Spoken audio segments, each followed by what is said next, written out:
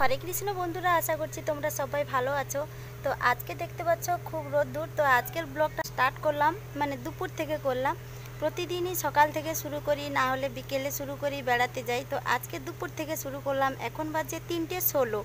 তো এখন থেকে স্টার্ট করলাম, কারণ বিকেলে অনেক কাজ আছে এবং সকালে যে কাজগুলো হয়েছে, সেগুলো তোমাদের সঙ্গে শেয়ার করব বলে। দেখতেই পাচ্ছ খুব রোদ্দুর আর সেই রোদ্দুরের মধ্যে তোমাদের সঙ্গে কিছু কথা শেয়ার করব। আমি এখন ছায়ায় দাঁড়িয়ে আছি, তো চলো। এখানে দেখতে পাচ্ছ ভর দুপুরে দুপুরবেলা সবাই ঘুমিয়েছে রোদুরে আর আমি এখানে বেশি তোমাদের সঙ্গে কথা বলতে। এই দেখো, আমার ঘাটে এখনও থালা বাসন পড়ে আছে। কারণ কি হলো তো? আমি দুপুরবেলা খুব একটা রোদ্দুরে বেশি বেরোতে পারি না, শুধুমাত্র তোমাদের সঙ্গে শেয়ার করব বলে এলাম। আরও ঘরের মধ্যে থালা বাসন আছে। এত রোদ্দুরে আমি কোনো সময় থালা বাসন ধুতে পারি না, চোখের সমস্যা আছে বলে। অতিরিক্ত রোদ হলে আরও বেশি সমস্যা হয়। আর আজকের হবে ধান সেদ্ধ। আর এই উনুনটা খুবই মানে ইঁদুর গর্ত করে দেয়। এটা ভালো করা যায় না, শুধুমাত্র ধান সেদ্ধ হলে ওটার সঙ্গে শেয়ার করে। এই যেখানে ধান ভর্তি হয়ে আছে, একটু রোদ কমলে তারপর ধান সেদ্ধ হবে। এখানে ধান আছে, আর ওই যে দেখো বাইরে ধান উড়ানো হয়েছে, সেই ধানগুলো হবে। এগুলো হচ্ছে শঙ্কর ধান, এগুলো মানে খুব কম থাকে আমাদের বাড়িতে যদিও।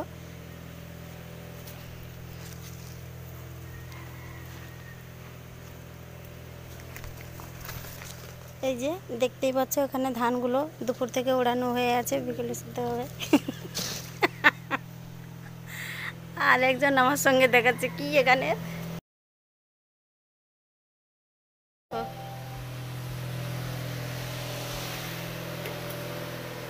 এখানে ঘরের মধ্যে হচ্ছে, এখানে এই পাখাটা লাগানো হয়েছে নতুন মানে এইটা হচ্ছে আমাদের ঘরের মধ্যে ছিল, এই যে।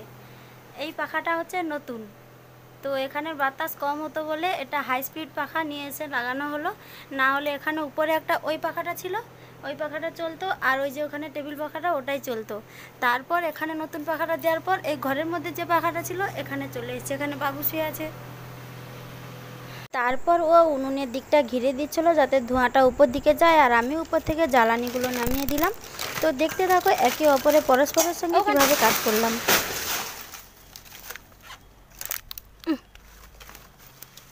গাছটা সেদিকে চলে এলো রে।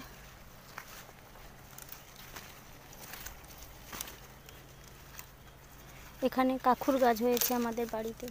ছাদের উপরে, এই যে দেখো, কাকুর গাছ, এই যাবে সিঁড়ির উপরে, একদম ছাদের উপর। দেখো, এ সবগুলা কাঠ নামাইব?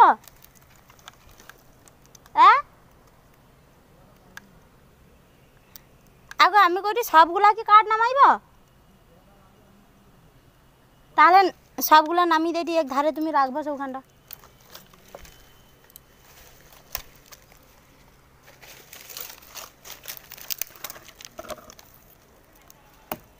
বাইরে ফেলাইব না সেদিকে?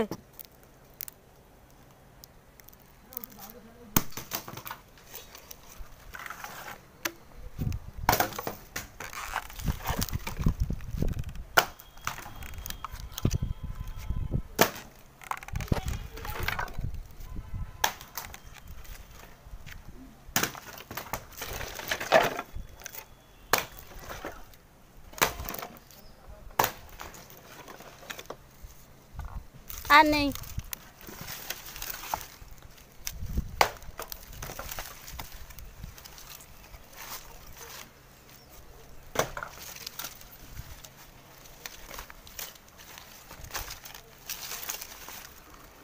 গাছগুলো কিন্তু খুব সুন্দর হয়েছে, দেখো। গাছটা গোড়াটা কোথায় সেটা তোমাদেরকে দেখাচ্ছি, দাঁড়াও।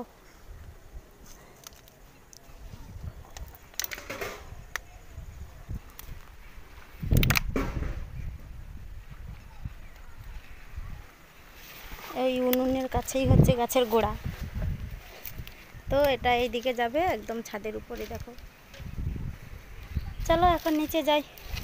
আমি এখন ওই কাঠগুলো এবং পাতাগুলো গুছিয়ে নেব আর তারপর ধানটা ভর্তি করে বস্তার মধ্যে ওখানে দিয়ে দেবো। চলো দেখতে থাকো। তো আমি চললাম পাতাগুলো রাখতে। তারপর ওখানে যে উনুনের ধারে ওই পাতাগুলো রেখে দিয়ে এলাম। আর উনুনের ধারে ওই বস্তার মধ্যে ওই গাছটা লাগানো ছিল। জানি না তোমরা প্রথম লক্ষ্য করেছ কিনা, তো বলে দিলাম। তারপর হচ্ছে আজকে বিকেলে আর ছেলেকে বেড়াতে নিয়ে যেতে পারব না। আজকের এই ধান সিদ্ধ হওয়ার পর রান্না বান্না করে নেব।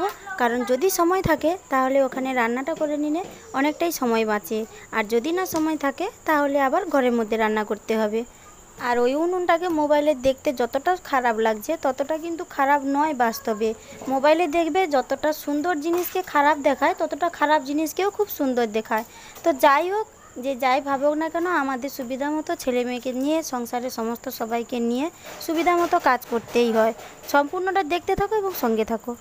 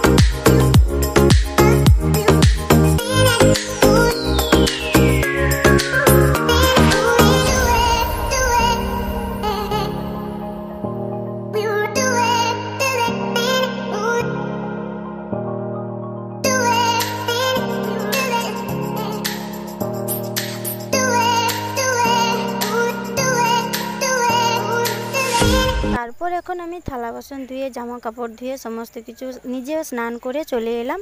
তো বিকেলে মেয়েকে মাথা বেঁধে দিলাম, তারপর আর আমরা একে অপরে যেভাবে কাজ করি, ও যদি হাঁড়িগুলো ঢেলে দেয়, তাহলে আমি তে ধানগুলো হাঁড়িতে ভরিয়ে দিই। আবার আমি যদি জ্বালানি একটু ঠেলে দিই তাহলে ও জল দিয়ে দেয় হাঁড়িতে কিংবা ধান উপর থেকে নামিয়ে আনে। তো বন্ধুরা, এখন দেখো সন্ধে হয়ে গেছে, আমার এখন রান্না বান্না শেষ, সমস্ত কিছু কাজ কমপ্লিট হয়ে গেছে। এখন বাকি আছে পুজো করব। তো পুজো করব, আজকে অনেকটা যেহেতু সময় পেয়েছি, তাই আজকে অনেকক্ষণ গীতা পাঠ করব। তো তোমরা সবাই ভালো থাকো, সুস্থ থাকো, আজকের ভিডিওটা এইটুকু। যদি ভালো লাগে সবাই পাশে থেকো। আর আমাদের সঙ্গে একটু সময় কাটানোর চেষ্টা করো। সবাই ভুল ত্রুটি মার্জনা করো এবং পুরোটা দেখার জন্য তোমাদেরকে অসংখ্য অসংখ্য ধন্যবাদ।